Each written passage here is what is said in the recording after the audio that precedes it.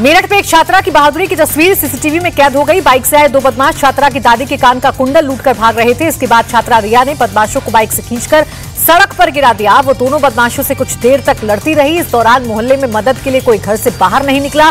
बदमाश एक कुंडल छीनकर भाग गए। हालाँकि पुलिस ने छह घंटे के बाद दोनों बदमाशों को पकड़ लिया। दोनों बदमाशों के पैर में गोली लगी।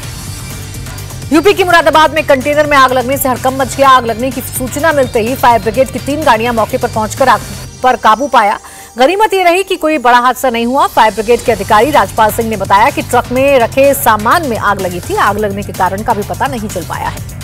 पंजाब के तरन तारण में एक थाने पर रॉकेट लॉन्चर से अटैक की जाँच जारी है। बम निरोधक दस्ते की टीम ने सरहाली थाना पहुंचकर हमले की जाँच की। तस्वीरों में आप देख सकते हैं कि अत्याधुनिक मशीनों से लैस जाँच टीम सबूतों की काफ़ी बारीकी से जाँच कर रही है। दरअसल शुक्रवार की देर रात को सरहाली थाना के साँझ केंद्र को रॉकेट लॉन्चर ने निशाना बनाया था। इस हमले में जानमाल का कोई नुकसान नहीं हुआ था।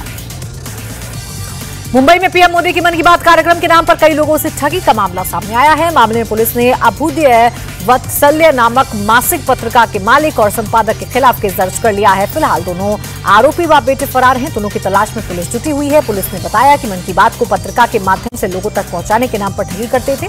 राष्ट्रपति से पत्रिका का विमोचन कराने के नाम पर स्पॉन्सरशिप की मांग भी करते थे। दिल्ली शराब घोटाले के आरोपियों से पूछताछ जारी। सीबीआई की टीम ने आज तेलंगाना के सीएम केसीआर की बेटी के कविता से की पूछताछ। सीबीआई की टीम हैदराबाद में बंजारा हिल्स स्थित के कविता के घर पूछताछ के लिए पहुँची। इस दौरान कविता के घर के बाहर भारी मात्रा में सुरक्षा बलों की तैनाती रही। किसी को भी आसपास जाने की अनुमति नहीं थी। शनिवार को ही के कविता के समर्थकों ने उनके घर के बाहर पोस्टर लगा दिया था। फाइटर की बेटी कभी नहीं डरेगी। इंडिया टीवी, हर वक्त, हर जगह। डाउनलोड करने के लिए सर्च करें India TV news, Google Play Store या एप स्टोर पर।